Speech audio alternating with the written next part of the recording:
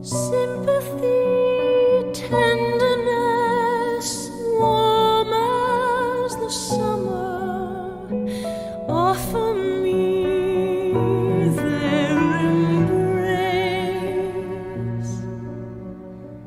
Friendliness, gentleness.